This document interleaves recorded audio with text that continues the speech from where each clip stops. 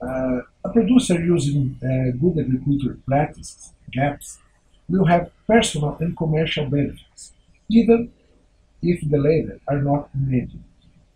Regarding the personal, the guarantee of using the best practices in its service allows the producer, the producer to increase the safety in relation to his health and that of his employees and family, improve the standard of his work, which becomes much more organized and produce high quality food.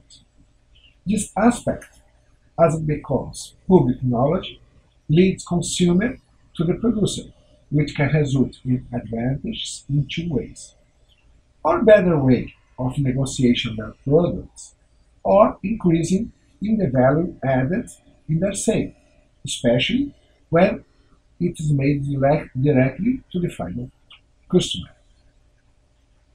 The concept presented uh, by this guide refers to the positive impact that the use of GAPS also has to the environment, especially on aspects related to climate change.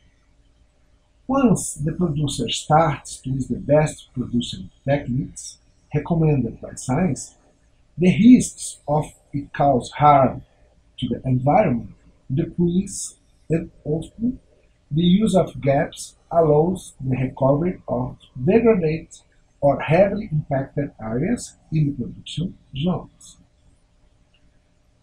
Agricultural activity cannot be seen in isolated form. All agricultural production is done on a natural area. The crop plants use soil, air, and water that escape the control of the human being. Thus, the activity of production food is different from a, from a factory activity, for example, where there is a control of all factors used and the internal climate. Uh, in the nature, in, the, in nature, everything is rel relatively chaotic.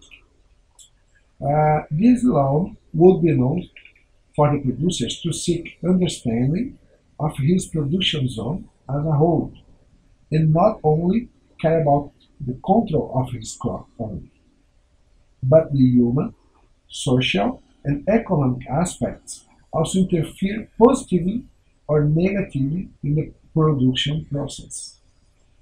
If a culture makes a profit, there is an incentive to continue working with it, or, in other hand, in case of loss, the incentive decrease affecting the workers or the producer's family, affecting their consumption and life quality.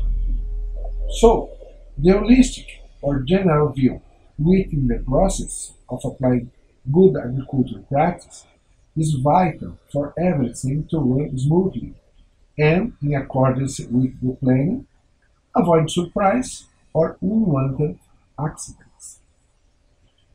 By defining what are the benefits of creating an integrated producer government approach to GAPS? Well, it's a win-win relationship because the producer will have the direct advantage of increasing personal, health, economic, family, and employee safety, as well as providing healthy and safe food to consumers that may allow increased gains by the producers as the demand for such food increase.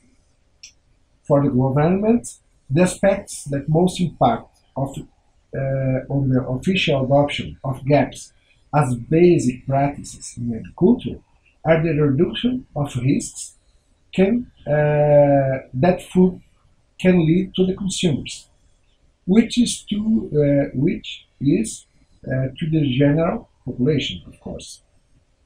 But even so, in relation to rural producers, the government can count on a better trained and therefore more productive and more efficient workforce, guaranteeing the way to the food, the, the food security of its country by the enough production of food uh, for its population.